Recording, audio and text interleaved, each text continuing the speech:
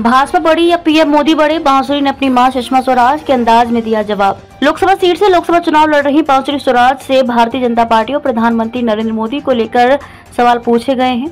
उनके द्वारा दिए गए जवाब की आज सियासी गलियारों में खूब सराहना की जा रही है। बांसुरी से पूछा गया कि भाजपा बड़ी या प्रधानमंत्री मोदी बड़े इस सवाल का जवाब उन्होंने अपनी दिवंगत माँ और देश की पूर्व वित्त मंत्री सुषमा स्वराज के अंदाज में दिया। वहीं एक इंटरव्यू में बांसरी ने कहा कि पीएम मोदी और बीजेपी एक दूसरे के पर्याय हैं। पार्टी कमल के चिन्ह पर चुनाव लड़ती है और पीएम मोदी कमल के फूल हैं। उनके द्वारा दिए गए इस जवाब पर दर्शकों ने ताली बजाकर सराहना की। इस इंटरव्यू में बांसुरी स्वराज ने आम आदमी पार्टी के द्वारा लगाए गए उस आरोप का भी जवाब दिया, जिसमें केजरीवाल की पार्टी कहती है कि बांसुरी स्वराज ने भगोड़े ललित मोदी को पासपोर्ट दिलाने में मदद की थी। बांसुरी ने कहा कि आपकी रिसर्च टीम सही से काम नहीं कर रही है। उन्होंने कहा कि मेरे वरिष्ठ वकील इस केस की पैरवी कर रहे थे। मैं उस समय नौवे नंबर की जूनियर वकील थी, जिसकी हैसियत इंटर्न से भी कम होती है। ललित मोदी के द्वारा सोशल मीडिया पर धन्यवाद देने के सवाल पर बांसुरी ने कहा कि इसका जवाब ललित मोदी ही दे सकते हैं।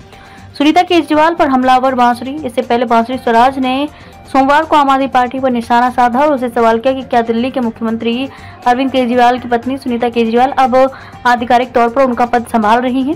स्वराज ने आपसे स्पष्ट करने को कहा कि क्या सुनीता केजरीवाल अब आधिकारिक तौर पर मुख्यमंत्री हैं, क्योंकि वह मीडिया संदेश देने के लिए दिल्ली के मुख्यमंत्री की कुर्सी का उपयोग कर रही हैं।